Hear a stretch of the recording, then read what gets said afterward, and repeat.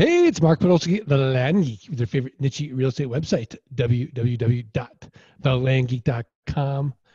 And on this week's roundtable, we have the usual suspects, minus a few. So let's just go around, but we have a special guest, which I'm really excited about. We have, of course, the technician, Eric Peterson, landopia.com. Eric, how are you? I'm good. Happy to be here.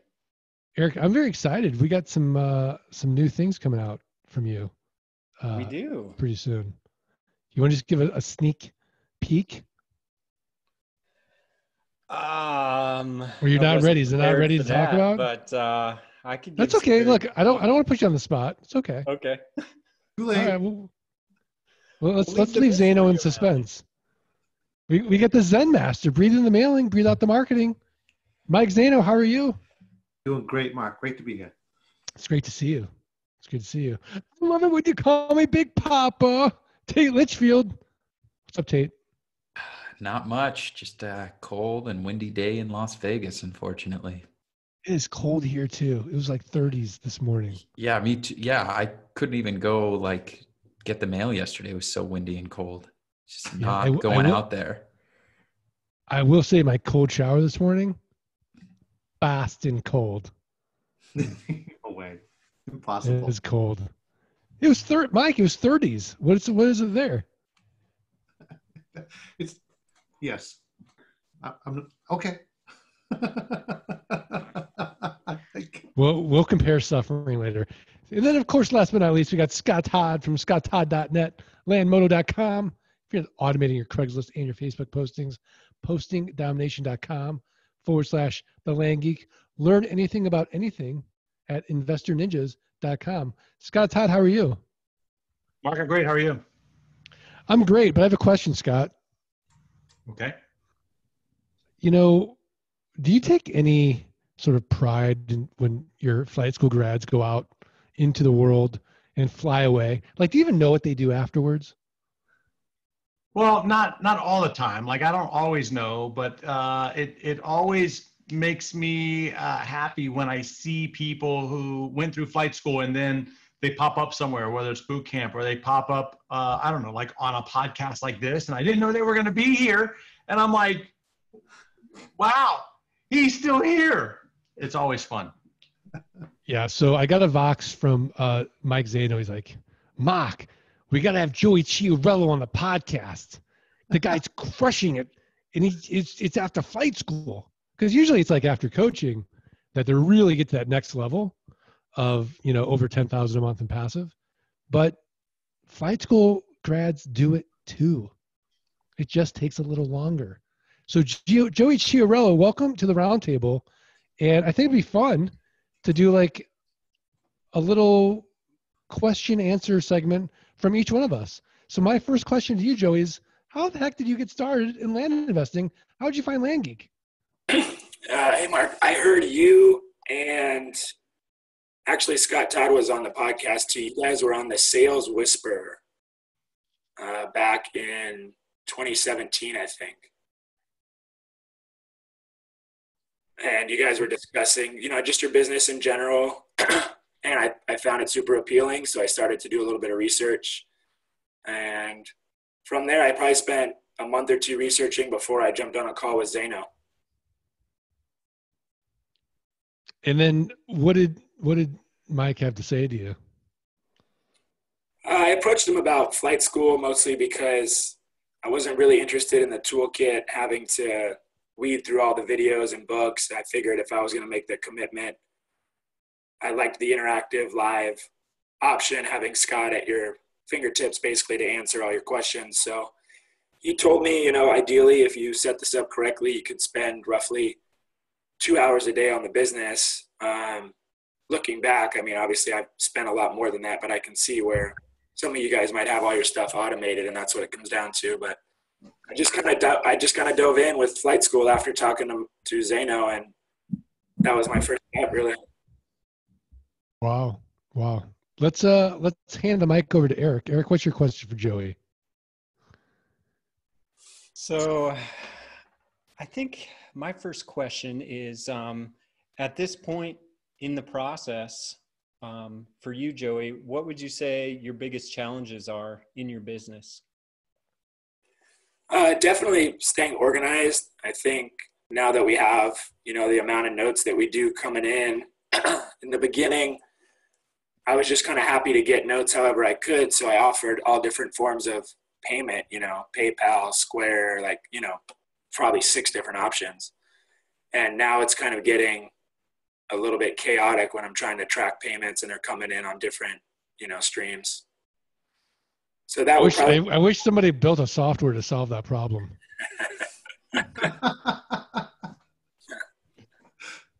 I spoke to you about that at boot camp, Mark. Oh yeah, what was that? Geekpay.io. Yeah, I remember. Yeah, no worries, Joey. I'm not. I've heard I'm. of You that. know, I'm glad that you're on the roundtable though, sharing your your challenges that I've already solved. But no, that's okay. Do you have any other challenges that don't have the easiest of solutions? Um, that's my immediate probably issue. Other than that, just deciding whether or not I want to commit to a CRM. Some of the, the process stuff, you know, I don't, I'm kind of old school, but I'm realizing it'd be nice to find some programs that would help facilitate, you know, the processes, I guess. Okay, great. Um, Mike Zano, what what questions do you have for Joey? Well, I, Joe and I, we, we communicate here and there after uh, flight school. And Joey, I know there was a time uh, we had talked and uh, you were advertising and it wasn't really going the way you'd hoped. What, what was a big turning point for you? When did it feel like all of a sudden, like, okay, like I'm hitting my stride? You know, what, what, what was, what, when was that? You know, and, and how did it feel? And because, you know, I think if I remember correctly, we talk about, you know, the mailing and the marketing is very similar, right? Lots of, uh, lots of ads, lots of mails, mailers go out, lots of contacts, but it's a process you have to kind of embrace and and then kind of uh, deal with. So, but anyway, when was that? When was that? When was that turning point for you where you really felt like, okay, um, you know, because you know we all get to embrace that suck initially, right? But then even after flight school, because what I tell people quite honestly with the flight school, it it works if you work it, but the the, the real test is going to be once it's over and Scott's not there.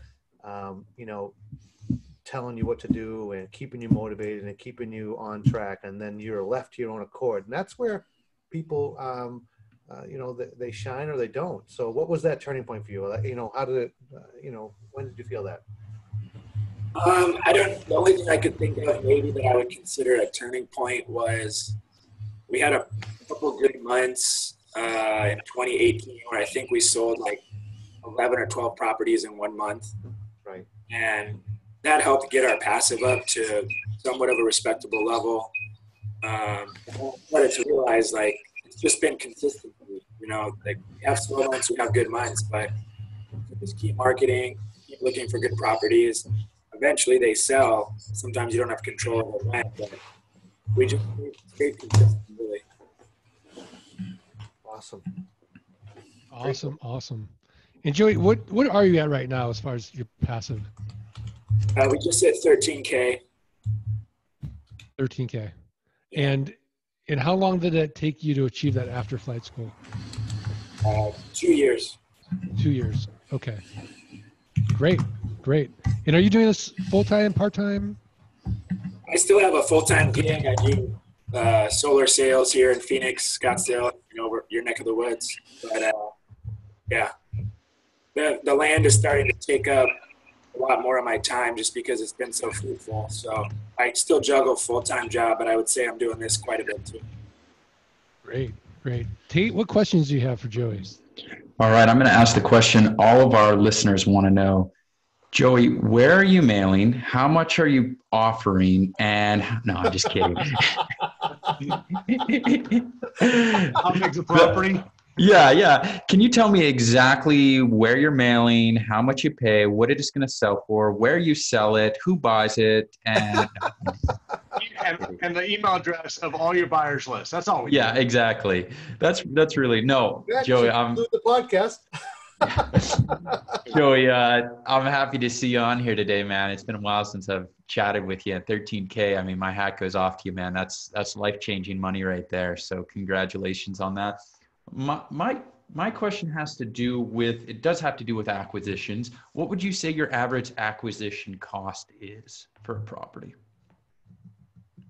You know, I, I look at acquisition costs, but I buy properties so many different ways. I mean, I bought from Eric, I bought from Scott, I bought from other, you know, investors wholesale. So um, on a traditional mailing list, I, you know, I would say I, I follow the, the two to 3% response rate, but then acquisition costs are still, I think, hard for me to calculate because sometimes I'll buy a property that has a lot of back taxes, you know, if I can still make margin on it. So um, I think there's too many variables to give like a precise answer on that. I'd love to have one, but I buy from so many different avenues that each one is so different. You know, Yeah, what no, it costs me. I, I'm I'm the same way, right? There's no way bad way to necessarily get a property, and if there's money to be made, I'll buy it at any price point. So, um, I guess my next question. Let's talk a little bit about no, notes because that's what's built your thirteen thousand dollar a month passive income. What would you say your average monthly note price is? Hundred bucks, two hundred bucks, three hundred bucks? I actually try to stay to a minimum of 200 just because I've noticed a lot of the clientele that haggle you for a hundred or hundred fifty dollar payment, they end up defaulting a lot of the time. Mm-hmm. Um, I do have probably five or six clients at 150, uh, but everything else is 200 and up.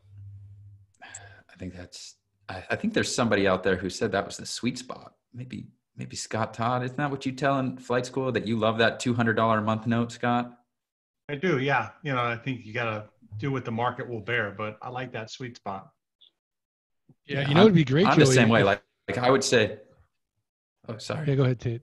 I was gonna say, like, I, I would say our sweet spot, like, I love that one, 150, 200, 250 mark. That is, it's an easy way to build that passive really, really quickly.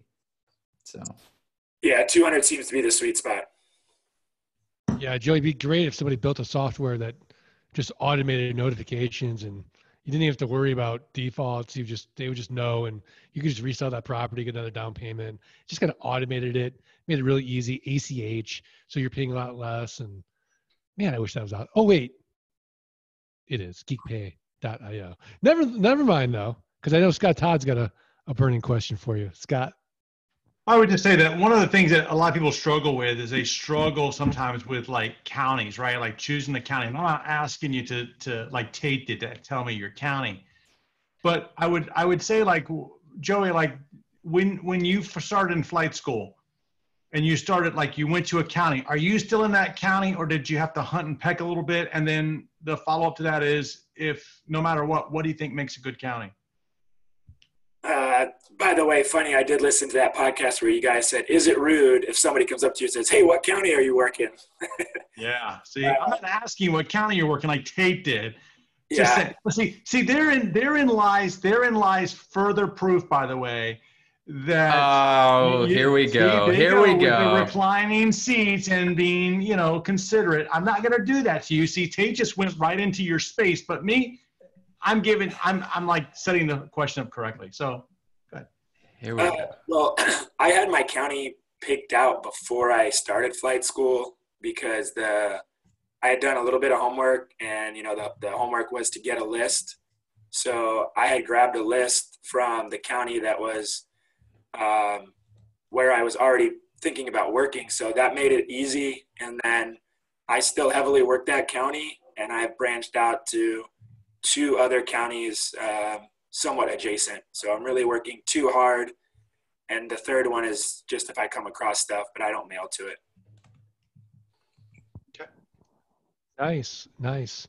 So Joey, what was it like being in flight school for you?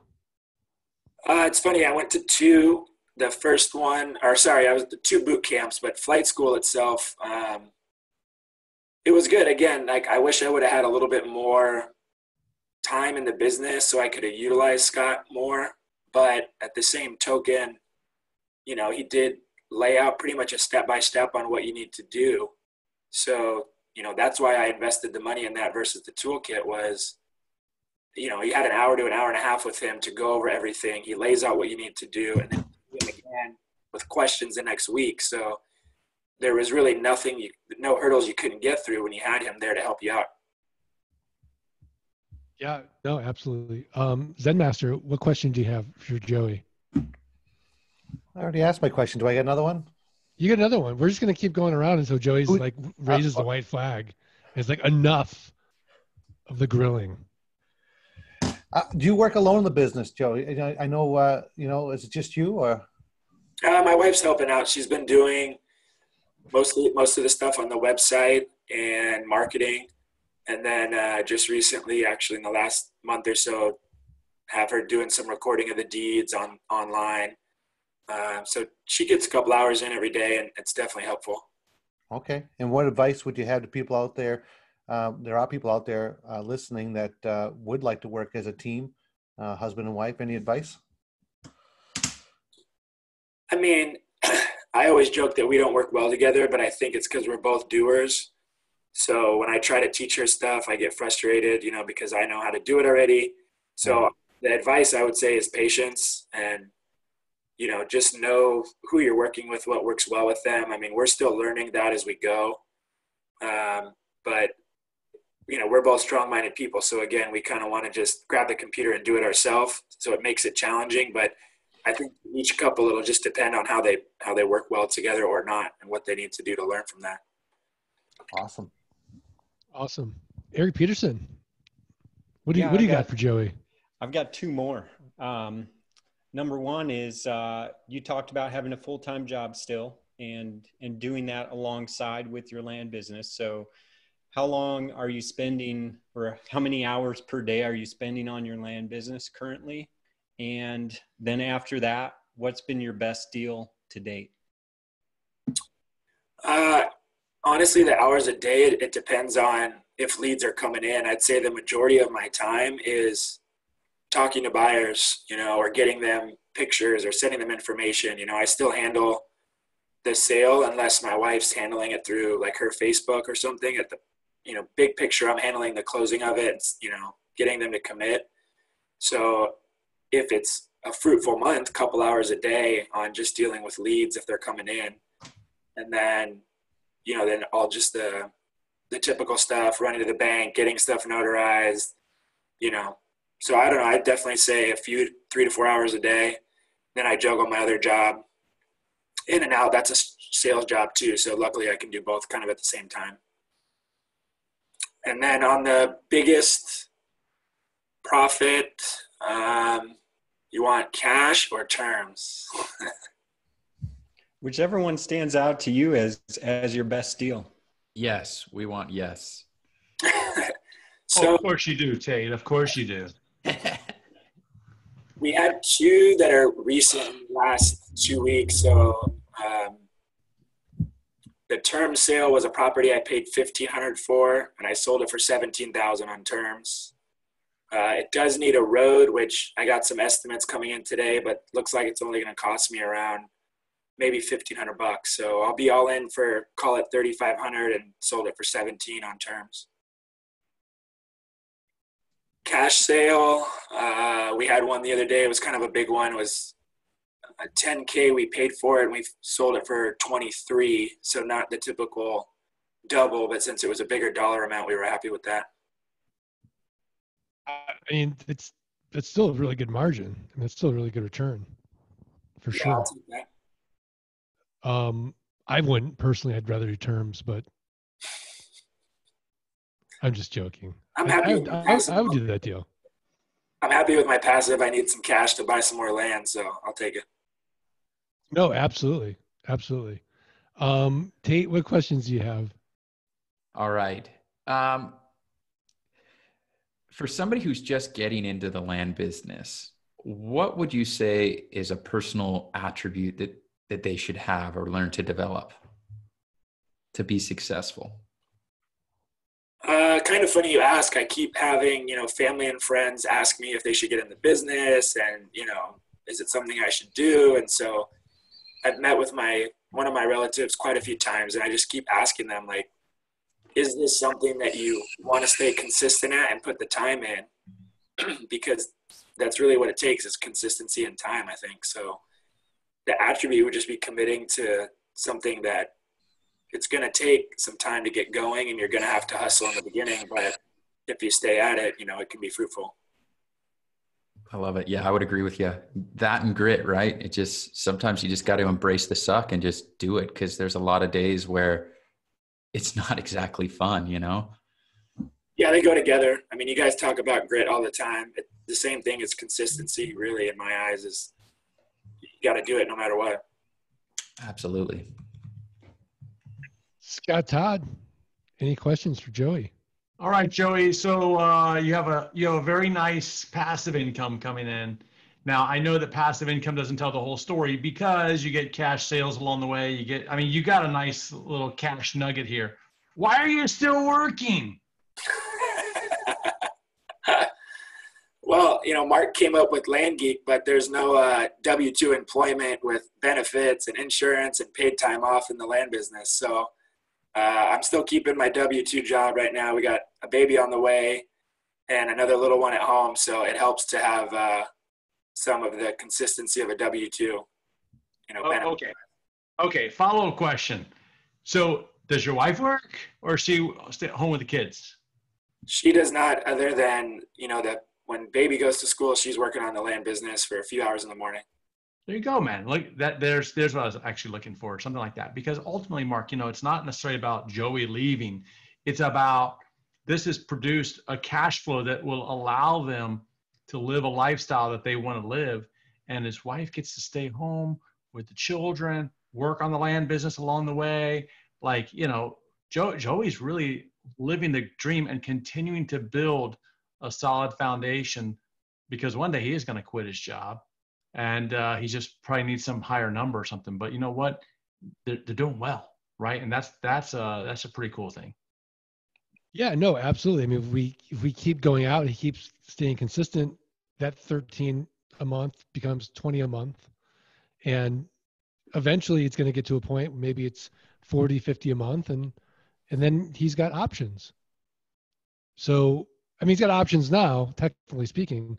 I mean, you know, some people have more expensive tastes than others, like Zeno. So, which would mean that's probably why he's still at the fire station. I mean, for me, I don't need to have the most expensive tequila on the market, but Zeno does, and therefore, that consistent income, I think, allows him to sleep well at night, knowing that he can fund the, you know, extravagant lifestyle. Well, for me, it's just extravagant to not have to be anywhere on, on, on a Monday. At the right, beach. Mike? You're at the beach. At the beach. You're at the beach. I'm just kidding. I'm just kidding. Um, Joey, I think we, we talked about this a little bit last week. What was that ideal number we all thought you would need to start with as starting capital? Do you have any thoughts on that? Like, how much money did you actually start with? And looking back on it now, do you have a number that you think if you were going to advise someone that it would be ideal to start with this much capital? No, I don't think there's a magic number. I mean, obviously, if you're weighing the investment cost of flight school, that's you know, it's not a thousand bucks. So that's been the conversation with my cousin who keeps asking me about it. Is you know, she doesn't really want to invest the six to seven grand or whatever flight school is going for at the time. But I said, why don't you start with the toolkit? um, it's still going to give you, you know, your basic understanding and what you need to do. And her question was kind of similar to yours: is they think they need to have all this money to buy property, and I said it's not true. Start with one lot. You know, you can buy one parcel for six hundred bucks. Just get your feet wet, see how it goes, and then when you sell that property and double or triple your money, you're going to find the other money to buy more property once you've proven the success. So I don't really think there's a number that anybody needs to start with. Obviously, it'd be nice to have five or six hundred bucks to buy a lot with, and maybe obviously pay for one of your courses to have legwork going. But I don't think there's an amount that's a necessity in the beginning. No. Okay, Eric Peterson. Yes. Any You're asking me for, for my number? No, no, we talked about this. No, do, no. What what other questions do you have for Joey? I mean, I can grill oh. Joey all day, but I just want okay. to know if I can come up with more questions. questions. Sure. Um, so VAs. how many VAs are you currently working with in your business, and uh, what kind of functions are they doing for you? Right now, I only have one VA, and I actually just uh, found him after realizing my VA that I'd had for like a year was just not capturing the amount of data that that I needed and for the amount I was paying him. So um, he's doing all my basically list scraping or setting up my Excel so I can send out my offers. Um, that's really the only thing I outsource other than, you know, uploading the mailer and sending it out, stuff like that. He, that's all he does. I handle everything else personally. So, you know, I know there's room for improvement on VAs or automation or handing stuff off, but you know, I like the sale and I don't want anybody else to fumble the sale. So I'm perfectly fine handling that portion and the rest is really just paperwork, which that I'm starting to hand off to the wife. So it seems to be a decent, a decent mix. Is there anything kind of on your list as as the next pain point that you do want to outsource, whether that's handing it off to your wife or or sending it off to a VA? Um, I mean, j- literally just in the last couple days, it's been great to have her pick some deeds, upload some deeds, and get them recorded. Um, it gives me the freedom to run to a solar appointment or run and do some stuff and know that she's still able to get some of that stuff done. When I sold a property, she can get it recorded. Um, that's a huge help. Excellent. Nice, nice. Zen Master, what questions do you have?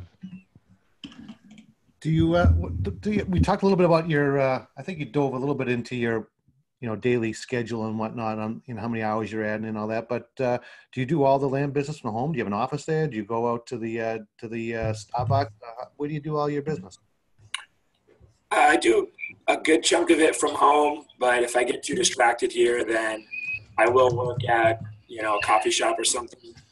For a long time, I was working at my office, uh, my solar office, but they uh, they they gave me the axe I'm working on about two weeks ago. So they said you're doing way too much of this land stuff, not enough solar when you're here. so I. Uh, was a little upset because it's nice to be able to do both and utilize a, an office with a printer and all the good stuff.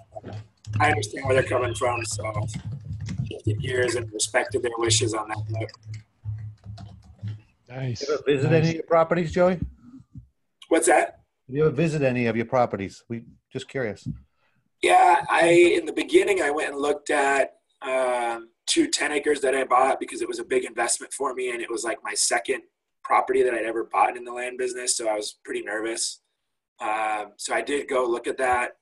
It was nice to be able to see it, take some photos, be able to speak to it. So you know, I do think there's some bonuses there, but I know obviously, you know, the other 95%, I I don't go to them. I just have a local person take photos and the usual that all of you guys do.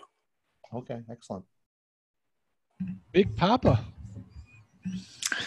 What aspect of the business don't you enjoy doing, or, or what? If there's one thing that you that you hate about the land business, what would it be? Uh, I mean, just on a kind of a nuisancey level, it's you know when the recordings get rejected or some of the like fine comb paperwork. I'm not like a super attention to detail kind of guy, so if I get you know in a hurry and I screw up the legal description and they reject it, it's just it's more annoying than anything to have to go fix that stuff. Yeah, I, I agree with you there. That is a terrible feeling. I hate the paperwork side of the business, like deeds, recording, notarizing deeds. That's that's the worst. Yeah, I do have a goofy one too that uh, completely separate topic. Well, same topic but different issue. I have a, two clients threatening to sue me based on somebody driving over their the neighbor's land, and so kind of like your squatter issue, a bunch of a bunch of stuff related around that. So that hasn't been fun, but ultimately they don't have a leg to stand on, so I'm not I'm not sweating or losing sleep over it. Interesting. I've never even heard of that. Wow. Yeah, they, I That's mean, craziness. it's. The the person on the southern parcel is stating that it's my fault that my tenant drove on their land, and I said, "How can I control what somebody is doing on your property? I don't have any control over them. That's ridiculous." So you know, they're well, they ruined my land. I'm going to sue you for 50,000. I said, go ahead. You're not going to win anything. You're just wasting your time. Wow, that's a that's a first. But if I were neighbors with Eric Peterson, I might think about that strategy. I mean, I don't know.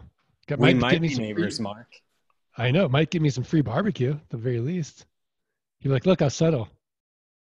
Rack of ribs. Like done. Um, Scott Todd, any questions for Joey? All right, Joey. If you could go back to flight school, what would you do differently uh, than what you did? Like, what would you change if you go back to, well, back when you were in flight school? I think that's my biggest thing I keep uh, talking about during flight school is not having been in the business long enough to have you as a resource. So what I would do is accelerate everything. Essentially, you know, be as deep into it as I could, or do as much of the prelim work going into flight school as I could, so that when I was in week two or three or four, maybe I was getting some accepted offers back. Maybe I was going deeper into the sale. Um, so yeah, really, I mean, having the list was nice. Having a county picked was nice, but you know, if I would have had a sale, let's say, or an accepted offer come in and had you there for that, it would have just made me less, you know, reluctant to go through with everything because I would have been able to know exactly what I needed to do. And you know that, that's one of the things, Mark, is like um, you know we, are always looking at the flight school flow, right? You know, and so we're always looking at the flow of things. I know that since Joey went through his flight school, we have changed things up. So like we we have a, a gap week in there uh, we talk about how to buy land wholesale so that you can go out there and we force people. That sounds kind of harsh, right? But we, we push people to take action to, to buy a piece of land before they come to the marketing piece so that they're there, they go through the sales piece. So we, we've changed some things up since Joey was there. And I'm glad that uh, Joey's feedback is there because it kind of uh, confirms what we've done might be on the right direction. Yeah, I mean, I, I don't think yeah, Mike, I don't think it's exaggeration to say that most people um, pay for their flight school tuition after eight to 12 weeks. Is that correct? Because it only takes one deal. Right. Well, I think it's strategically priced at that point that it can be recouped in one deal, and that's the that's the beauty of it. Not many uh, models out there you can recap your investment with one deal. And Scott, it's not harsh when when you do that. I think it's we could probably say it's Mac as opposed to Surface. It's Mac. That's the other word for harsh. Oh, okay. I'll, I'll roll with that. It's I'll Mac. Yeah. Okay. I'm good. Joey, are you a Mac or PC guy? Uh, PC. And just on that, uh, on that last note, can't remember if it was my first sale. It was not the first property I bought. I think it was the second property I bought right out of flight school. Um, I sold it for nineteen thousand on terms, so that paid for flight school. And it was probably my second deal done. Yeah, nice. Very nice. Um wow, we we've really covered a lot. Joey, what what, what should we be asking you that we haven't asked you yet? Uh, I, I I've got it. I've got it. I know what people want to know. They want to know your expenses. What are your what are your monthly expenses in the land business? So that's a good question. With tax time right here, we're trying to you know get everything get all our ducks in a row and see what true acquisition costs might be if if we can boil it down or what are our monthly expenses but um, really the only expense is the mailing uh, all the marketing we do you know craigslist facebook the typical streams those don't have any costs.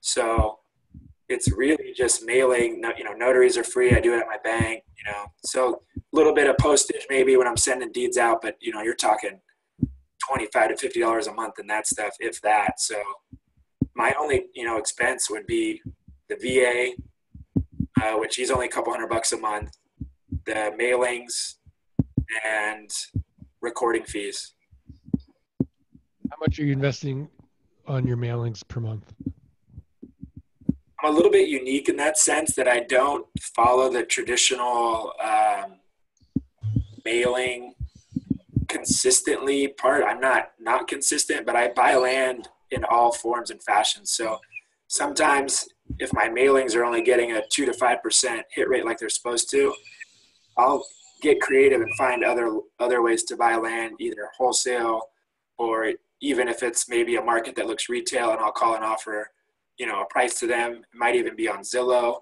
Um, so I've just been luckily and creative enough to always find a way to, to keep my inventory up. And I can tell you the majority of it is actually not from mailings. All right, awesome, awesome. Eric, what questions do you have? All right, I got another one. So, biggest mistake that you've made so far in the land business? Um, I mean, I listen to you guys when you t- when you have this question answered. I always think like, is there one that stands out for me? And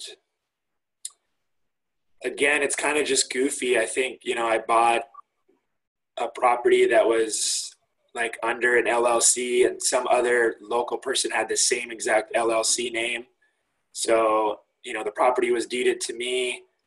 I think I had already had it sold on terms, and then you know a couple months later, I get a call from some other person saying, "Hey, I'm the owner of that LLC. You don't own that property." Um, but really, the beauty of this is all that can be untangled. You know, it it's a little bit stressful the first time you go through it, but then when you realize, like, you know, all I got to do is record an affidavit stating it was an erroneous recording or whatever. You know, you learn the process as you go to make the corrections, but um, I've had that happen two or three times where it was just an issue with the recording or an LLC or, or you know, breaking title maybe. But again, you, you know, all that stuff, you can go back and get it fixed for the most part. So you just learn as you go. Excellent. All right. It sounds like you were resourceful enough to, to be able to figure out how to get that done. Yeah, I mean, luckily, you know, you just you call the county if you play nice or figure out whatever the strategic way is to get the answers you need. You can figure out how to you know, get it back to the right person and figure it out. Awesome. Nice, nice. Zen Master, how about you? Um, I would say my final question would be, what's the, you know what the biggest impact this has had upon your life? If you look at the whole thing, you know, it's been a couple of years now. Um, what's the overall the sense of accomplishment? Uh, is it the passive income? What's you know what's what is it? Uh, I, I think the passive income was always attractive to me. Um, I love cash flips too, so I'm not heavily slated one way or the other, but I definitely like the passive. So, I mean, hitting this hitting 10k was definitely big. Uh, where it's made the biggest impact is we had a really slow last six to eight months in solar. So, you know, I, I tell my wife all the time, if we didn't have the land business, we would I don't know what we'd be doing, but we wouldn't be able to pay the mortgage with, with how slow solar's been. So having it there is really, you know, kept us alive in a sense when my full time job was just going through kind of a down cycle. All right, thank you. Awesome. Do you guys hear that background noise, or is it just me? I hear it. Oh, okay. I don't know what that is. Um, I'll just blame Tate. So Tate, any any final questions? No, I think we've uh, covered it pretty well. Joey, congrats, man. I mean, don't take your foot off the gas. That's my advice to you is uh, you, you got a taste of it. And now it'll be interesting to talk to you in, you know, another 12 months and see what more you've outsourced. And I think we all kind of, when you said you're not, you don't have very many VAs, my advice would be go out and get some more VAs. They don't cost as much, and you can find quality people out there for very, very inexpensive. And yeah, hang on to the sales. You're obviously really, really good at it. Don't get rid of that. But uh, some of the other aspects of the business, if they can free up your wife's time or your time, it's worth the every penny that you'll put into it. That's my advice. But great job, man. I'm happy for you, and uh, best of luck on your future land deals. Thank you. Scott Todd, any final questions? I don't know. Final question. I would just say, Joey, you're doing great, man. Keep mailing, keep marketing, and let freedom ring, baby. Yeah, thank you. I appreciate it. Joey, I hope to see you at Phoenix Boot Camp. Well, dates on that one? April something. It's at thelandgeek.com forward slash bootcamp. We'll look into it. That's the one I'm hoping to have my cousin attend to. So that'd be awesome. Okay, great, great. Yeah, how was boot camp for you? You've been to two. The first one was great because I was pretty fresh in the business. So it was, you know, kind of like a fire hose on that one. But the second one, where I got to bring my wife and again was probably in the business for a year at the time, picked up some new stuff. It was good to kind of catch up with a lot of you guys that were there and, and just learn stuff that was more relevant at that time in the business. So again, it's just kind of a timing thing. Where you're at in the business, you pick up different things at, at the boot camp depending on, you know, what you're going through. Okay, great. Yeah, April 17th to the 19th, um, for sure. Well, I, I want to say, you know, we are so proud of your success. Um, and this is why we do what we do, because we want to make that impact. And we really want to see people succeed in this way to get to that point where they're out of solo economic dependency, which means if they're not working, they're not making any money, which, you know, once we solve that, that big bucket of stress in our life we call money, um, I'd make the argument that once that's solved, you can really go and, and, you know, improve all your relationships. You have oceans of energy to really do the things you really want to do in life. And I hope that's having an effect for you. Yeah, absolutely. All right. Well, I want to just remind everybody that today's podcast is sponsored by none other than Flight School. So if you want to be like Joey Chiarello, learn more, get on a call with the Zen Master Mike Zaino or the Nightcap OG Scott Bossman, go to uh, landgeek.com forward slash training and get a free strategy call and see if Flight School is right for you. Scott Todd will take you up that mountain of land investing over 16 weeks, and you too can start generating passive income, cash deals, and be the next Joey Chiarello. All right. Uh, Joey, are we good? Yeah, thanks, guys. Appreciate it. Thank you. All Joey. right. Thanks, Joey. Tate, are we good? Yep, very good. Zen, Mas- Zen Master? Scott? Good. I guess Eric too. Eric, are we good? Indeed, we are good. All right. Just a reminder the only way that we're going to be able to continue providing the quality of guests like a Joey Chiarello is if you do us three little favors. You got to subscribe, you got to rate, you got to review the podcast. Send us a screenshot of that review to support at thelandgeek.com. We're going to send you for free the passive income launch kit course, as well as the newest wholesaling course, How to Double Your Money 30 Days or Less. Joey, you ready for this? Sure. One, two, three. Let Let You know, freedom, freedom ring. ring. Wait, we didn't do a tip of the week. We didn't do a tip of the week. from you guys. Wait, two. All right, yeah, Scott, what's your tip of the week? Okay. Check this out. We all want to be nomads, right? Like we all just want to be out there living living the nomad life, like wherever we want to, doing this business from everywhere. You guys agree? But wouldn't Yeah, it be absolutely. great if we could find like where we really want to be because like weather and all this other stuff?